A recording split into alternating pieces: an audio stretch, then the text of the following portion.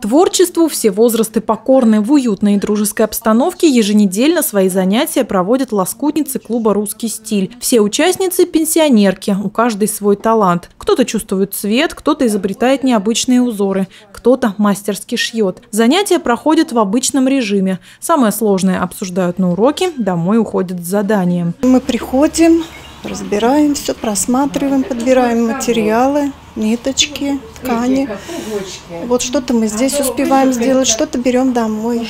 Вот и когда мы приходим уже с готовыми, опять начинаем все это собирать в какую-то работу, пану или одеяло. Вот, а потом начинаем уже доделывать домашние задания обязательно. Ну и дома нужно что-то делать, это интересно. Пэтчворк – вид рукоделия, в котором по принципу мозаики плотно сшиваются лоскутки разного цвета и размера. Современные мастера выполняют объемно-пространственные композиции. Получаются настоящие произведения искусства. Идею для создания этого панно мастерицы почерпнули у теоретика абстракционизма художника Кандинского. В первую очередь нужно э, делать то, что тебе самой интересно то есть выражать свое личное «я».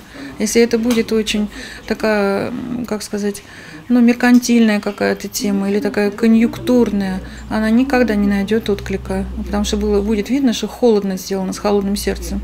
А когда это тебе живо интересно, вот как мы сейчас делаем э, работу с вышивкой, и ведь вот э, все в восхищении просто друг от друга. Проводят в клубе теоретические занятия по цветоведению и композиции. Сшивать лоскутки несложно, а вот чтобы создать картину из фрагментов ткани, нужна ловкость и чувство вкуса. Ольга с другими участницами клуба «Русский стиль» делится своими умениями. Женщина делает авторские броши в стиле бохо и мастерит куколки «Благовест» на здоровье, удачу и женское счастье. В творчество Ольга окунулась после смерти мужа. Говорит, нашла новые смыслы жизни это настолько успокаивает. Это, вот, в общем-то, это психотерапия.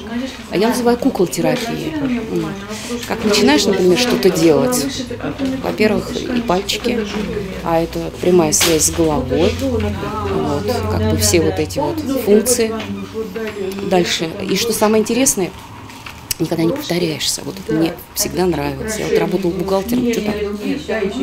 А тут что-то новое. Ивановский клуб лоскутного шитья старейший в России. Он существует с начала 90-х годов прошлого века. Открыт для представителей любого пола, возраста и профессий. Но посещают его в основном только пенсионерки. Они рассказывают, молодежи не до творчества, работа и другие заботы. Времени открыть в себе талант не хватает. А зря. Мария Смирнова, Антон Осипов, РТВ Иванова.